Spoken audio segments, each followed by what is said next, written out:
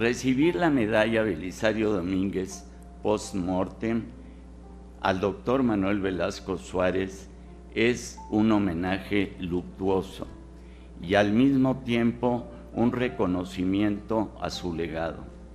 Son cimientos, son instituciones, es idealismo, no solo obras físicas, sino la formación de recursos humanos de alta especialidad.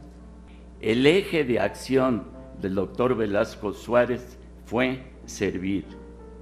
Él concebía a la política como el arte de hacer medicina en grande. Agregaba, la columna vertebral de la política debe ser el humanismo.